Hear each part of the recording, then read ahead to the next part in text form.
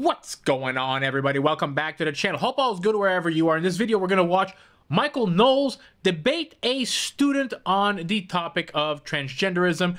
Let's get into it. Hi, Michael. My name is Demi. Um, in the recent past, you've advocated for the outright eradication of transgenderism from public life with the claim that the supposed right of confused people to pretend to be the opposite sex necessarily infringes on your right to distinguish between men and women.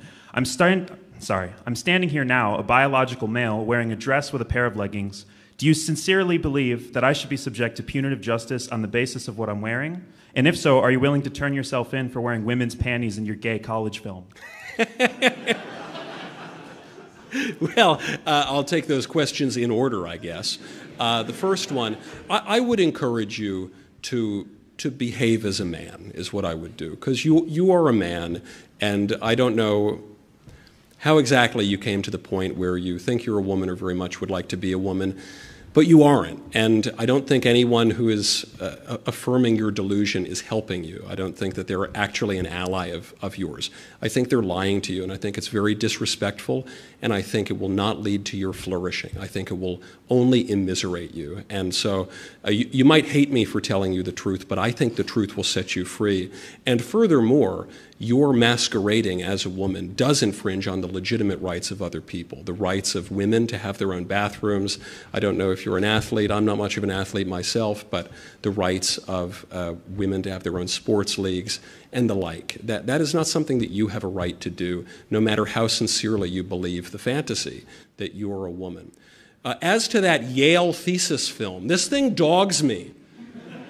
you know, back in my wayward youth, I was, I was never a, a, transvestite or a homosexual or anything, but I was something even more morally suspect. I was a professional actor.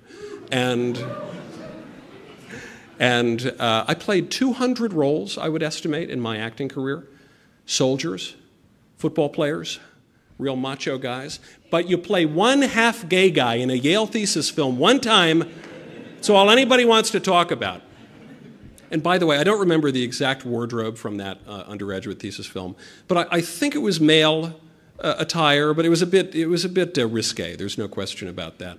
Uh, the only further thing I will say about that Yale undergraduate thesis film, that is the most heterosexual thing that has ever been produced at Yale University, okay?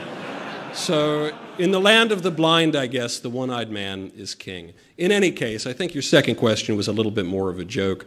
Uh, your first question, it, it, seems like a sincere question, and my answer to you is, is sincere. Um, I'm, I'm happy to answer any more questions you have, but I'm not going to lie to you. And I, and I think the people who who are continuing to lie to you about uh, so basic an aspect of your nature and the rights that you have in political society are not doing you any favors at all. So, so having yearned for the uh, for the days when it was illegal to cross dress in San Francisco, I'm just very curious why you're so comfortable you know, wearing drag in these films. It's it's a it's a really silly. sure, silly, you know, it's a I, know, I was an actor and I wore silly costumes. I don't know what okay. to tell you. If you have a if you have a sincere question about the issue or my stance on transgenderism or uh, you know any advice that you might be seeking, I'm happy to do it. But if uh, if you merely want to say that Yale is a bit of a queer school, and you know I was in a student film, uh, I, I guess I was, and I was basically the most macho guy at that school. What does that tell you about Yale University? When you harp on your right to distinguish between men and women, are you afraid that you're going to be attracted to trans women? I'm not. you, sir? Are you positive? Say, say it again. I didn't hear the second part. Then why is it that why is it that you harp on the dis, your right to distinguish between men and women? If you can always tell, why is it why is it so hard? Well, because it's not even merely that you're putting on a dress, it's that you and people who identify as transgender are uh, infringing upon rights and spaces that properly belong to women, and you have no right to do that. And so when you ask me, oh, why do you care about this issue? And by the way, it's not just me, it's like the vast majority of voters who care about this. Uh, the reason is because we live in society and we have political rights, and also because we care for the truth. And the very fact that this always happens with the sexual revolutionaries, they always say, you know, if you uh, oppose if, if you don't agree with the idea that a man can secretly be a woman, then maybe you're a transgender or something. I think the implication is, is is quite clear, which is that you recognize there's something obviously disordered about, about this identity. That's why, in, in your attempt to insult people who are pointing out the truth, you're accusing them of that very same thing. But, but that in, in, inclination, that impulse to, to see that as a disorder should be instructive to you, and I, I think it could, it could help you if, if you would allow yourself not to just cast it on someone else, but to look in the mirror. Uh, if you ever want to explore your true self, my Instagram is at demigloom, D E M I G L O O M. Thank you so much. I'll have to take a rain check. This is not the first time I've heard somebody call out Michael Knowles based on his old acting, and a lot of people call the guy a hypocrite because uh, he portrayed gay men in some movies when he was in university. I mean, the guy studied to be an actor. To me, like I know we're all in, we're all entitled to our own opinion. In my opinion, he didn't do like gay adult movies they were actual regular film. It's no different than somebody portraying a serial killer or portraying a Nazi or a rapist or a wife beater. Just because you portrayed a certain type of character in the film doesn't mean you identify with that character in real life or that's part of your belief system. And these films were kind of when he was younger in university. Michael and I are close in age, and I'll speak for myself here, but when I was in university, I was a lot more like libertarian, I guess closer to being a moderate. Now I'm way more right than I was back then. People change. We evolve as human. You learn stuff. When you're 19, 20 years old, like, what do you really know about life? Now, you guys can correct me if I'm wrong in the comments section, but I don't know that Michael Knowles actually has an issue with the gay community. I think it's more the same thing that a lot of us, again, I'll speak for myself, have an issue with the laws, the indoctrination, having a very, very small percent of the population having this much power over the lives of everybody, teaching gender ideology in school, women losing their spaces, women losing their sports, all this stuff I'm completely against. But that community in itself, I don't care if somebody is a gay man or a lesbian woman or a grown man wants to dress up as a woman and portray himself as a woman, present as a woman. It doesn't bother me. It does bother me when I have to change my language to suit your delusion and laws are put in place that I can get fined because I don't use the proper pronoun of all the millions of pronouns that these people are choosing that we should use, yes, I'm bothered by that. Michael Knowles is 100% right when he said that, you know, their friends, their family that are telling him, oh, yeah, you're a woman. You're just feeding into the delusion. Often these people have, uh, say, women friends, for example, that probably don't even believe that themselves, but they're like, oh, yeah, you're a woman you are not helping these people in the real world at all. Because this idea that trans women are women is really only in the West. Everywhere else, transgender people are happy to be called transgender people. Here in Thailand, I'm around the transgender community. There is more transgender here per capita than anywhere else in the world. I don't know why. There must be something in the water. No idea, but it's been that way for decades. But they don't say that they are women. They call themselves ladyboys. They're men they realize that they are men that uh, want to present as women and they're fine with that so it all works out no problem. It's not in the schools it's not changing language nobody's teaching gender ideology to children. Thailand's a fairly conservative buddhist country so that's not taught in the school at all. These people will always correct you. If you think that they're a woman they'll say no no i'm not a woman. I'm a lady boy it, it, does take some getting used to when you start living here, but it just all works because nobody's trying to say that they are a real woman. This little video here kind of sums it up. Beautiful. Oh, thank you. Cute. But I'm Everyone. not lady. You're not a lady? Yes. What are you? I'm lady boy. Um, and you don't believe me? You are not a lady boy, are you? I'm No. lady boy. Really?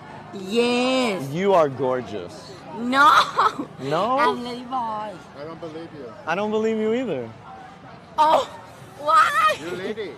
I'm lady Ball. Now, for anybody wondering, I, I don't live here because I hate the West. My my girlfriend is Thai. My family has long passed away. Her family is all alive and well. I believe that it takes a village to raise a child, so we live here. Uh, she's from a very good conservative family. They're builders. They have a big real estate company here. So, uh, this family-wise, this is a much better arrangement for us. But I'm a very proud Canadian. I love Canada. I love America as well. I spent many years there. And my children are half Canadian and they might want to live in Canada one day. And I would like it to not be this woke wasteland by the time they get there. When it comes to the pronoun people, the pronoun community, as I like to call them, in my opinion, there is no such thing as gender being a social construct. There's just sex. You're either male or you're female. That's based on, you know, your genitalia, your chromosome, all that stuff. There's many differences between men and women. The same reason that, you know, we always say if in 100 years, once you're dead, if somebody dug you up, they may not know what you identify as, but they will know what you are biologically, a male or a female human. Your self-perception, how you see yourself, I'm fine with that. You want to wake up in the morning and, you know, if you're a grown man and you want to dress like a woman, I don't really have that big of an issue with that as long as you're not invading women's spaces. I don't think you should be allowed to necessarily teach children, but just because you woke up and you say, well, today I feel like a woman, which you would not know what that is as a biological male because no biological male knows what it's like to feel like a woman. The same way no biological female knows what it's like to feel like a man. But you want to go out there and play pretend, go ahead. But that doesn't make it fact that the rest of society has to go ahead and pretend as well. We don't have to take part in your your charade. You don't get to choose your pronouns. The same way you don't get to choose your prepositions. You don't get to choose your adjectives or anything of the sorts. You see how angry this community gets when they get mis like a trans man getting misgendered, gets so upset and emotional about it. Men don't act that way. We just accept that society pretty much hates us anyway. And especially when it comes to like little children, right? Know, a little boy will wake up and, you know, he's got some sisters and he said, oh, I feel like a girl. And you'll see these parents, these woke parents, just, well, my little boy's a girl. I'm going to raise him like a girl. Maybe he's just a little four-year-old boy that has sisters and he sees them play with Barbie dolls. So he wants to also play with Barbie dolls. Doesn't mean that you have to raise him as a woman. You just can let, you can let him play with the little dolls. And maybe he's a more effeminate little boy. Maybe he grows up to be a gay man. Again, who cares? You don't start chopping off body parts and putting little kids on puberty blockers just because one day they, you know, they said, and these are kids that believe in the Easter Bunny and Santa Claus just because they said, oh, I, I feel like a girl. They might have heard that at school. No, just because a little girl plays with trucks or a little boy plays, it doesn't make them any less a little boy or a little girl. And that's why, like Michael Knowles was saying, you know, people say, oh, why do you care about this? And people say that to us like we're the only ones who actually care about it. But I care about women and their spaces and keeping them safe. I don't want my daughter in a change room with a grown man at any point ever. Truth matters, language matters, and laws matter. And when we see, like in my country of Canada, some of these things becoming a law, that you have to call the person by the right pronoun or you can be charged or fined, that's absolutely ridiculous. Again, you don't get to choose your pronouns. Now, clearly this person here has an Adam's apple, and you can often tell by the Adam's apple or, or the bigger hands, right? But this is a community that wants to say, oh, a trans man is the same as a biological man, or a biological woman is the same as a trans woman. But they can't even define what a man or a woman is. And I go back to what Michael Knowles was saying. We're not doing them any favors by doing that. You don't fix a problem with the mind by altering the body and you know their friends, their family because gender dysmorphia if someone actually has it, it's a mental issue. They need a psychiatrist. They don't need to be chopping off body parts. Anyway, Hope you enjoyed this video. If you did, please smash that thumbs up button. Consider subscribing to the channel. Help it grow. I'll catch you all in the next video. Peace out, everybody.